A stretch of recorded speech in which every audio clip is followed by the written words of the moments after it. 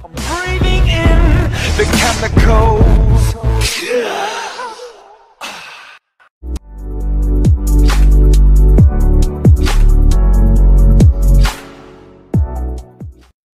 What's up guys? Today let's talk about radioactive isotopes. So isotopes, we've said before, they're just atoms of the same element that have different numbers of neutrons. Simple, right? What makes them radioactive though? Radioactive isotopes are isotopes whose nuclei are unstable, so they give off radiation to make themselves more stable. Now, radiation itself has really bad rep, right? In movies, radiation always causes things like mutations, or you get superpowers, right? Well, radiation, in the scientific sense, is really just some sort of particle that's flying off that might be ionizing. So it's not too hard. So one example of a radioactive isotope is carbon 14. Carbon 14. Now, why am I writing like this? Well, carbon, the symbol for carbon is C, and carbon has six protons down here, and it has, let's see, eight neutrons. Because up here denotes the atomic mass, and down here is the atomic number. So six protons and 14 total mass must mean 14 minus 6, 8 neutrons, right? The biggest number is always on top. Think about wrestling, right? In wrestling, the big guy is always on top. So similar here, the big number is always on top. 14, 6, see, this is carbon 14. Carbon 14 is radioactive, okay?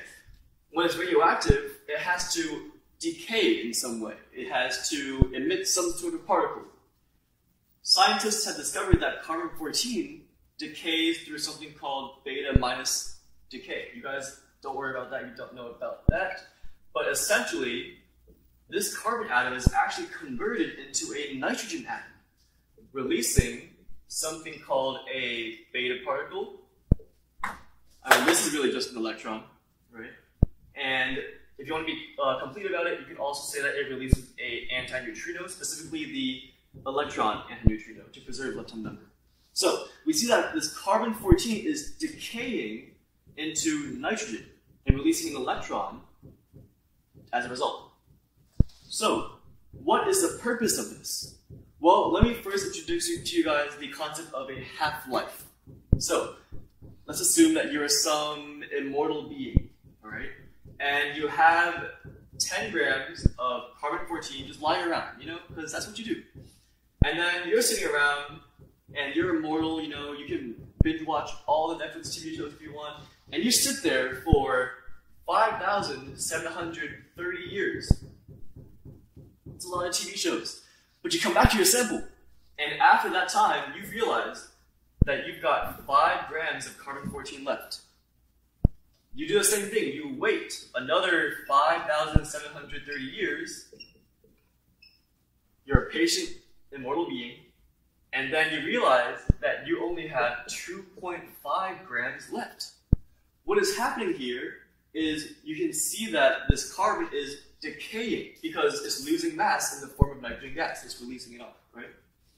So, we see that it always decreases by one half, which is why we call this number 5,730 years. That is the half-life of carbon-14. Now, different radioactive isotopes have different half-lives, so this is a characteristic number for carbon-14. It's almost as if Thanos snaps his hands every 5,730 years, right? So that's the half-life. It's how long it takes for a radioactive isotope to decay into one half, for half of the sample to decay. All right? Now, what is this useful for, especially in the context of things like biology, right? Well, these radioactive isotopes can be used to cure and diagnose diseases. So, uh, you have this thing called your thyroid in your neck, right, in your neck region, and the thyroid does a really good job of concentrating something called iodine. It's, it's got the formula I2. So, what scientists can do if they suspect that you have some sort of problem with your thyroid, they can give you, they can administer to you a radioactive form of iodine iodine 131, I believe. And then the particles that they give off can be detected using some kind of medical device, and they can look at your thyroid and tell what's wrong with it, diagnose something. Now, radioactive isotopes can also be used to cure things like cancers, so things like leukemias, things like melanomas, breast cancers. Those are all targets of radioactive isotopes that doctors can use to treat you. Now, what else can we do with radioactive isotopes? You saw in the intro, right?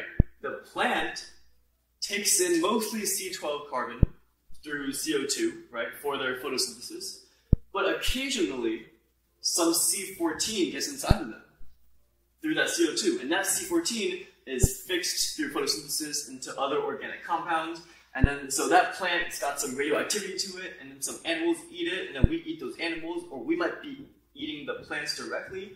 So that radiation is actually transferred up the food chain, and then here's the big deal those plants are constantly taking in C14, right? But once they die, they stop taking it in. And let's say the plant fossilizes. So that fossil will have some sample of C14 inside of it, and then that C14 will decay, right, through this beta minus decay. And scientists can actually measure the ratio of C14 to other carbon isotopes to determine the age of that fossil to determine when that fossil actually died. That's amazing. It's got applications in paleontology too. And the same can be applied to animals as well, because animals eat those plants and then they die, and they can still have that carbon 14 inside their tissues. What else can we do? Well, radioactive isotopes, uh, so for example, carbon 14, we can actually look at biochemical pathways using radioactive isotopes. So we can look at which carbon goes where inside a certain mechanism by measuring the radiation levels of that particular compound. And we can see how these different pathways connect to each other. So for example, the Calvin cycle was originally discovered using these radioactive uh, procedures. And also DNA, right? The genetic material of all life. The DNA, the fact that DNA is the genetic material, that was established through radioactive isotopes. Search up the Hershey and Chase experiment. It's awesome. Well, that's all I have for you guys today. I hope you guys found this exciting and helpful. If you guys have any questions or comments, be sure to leave them down below. I'll see you next time.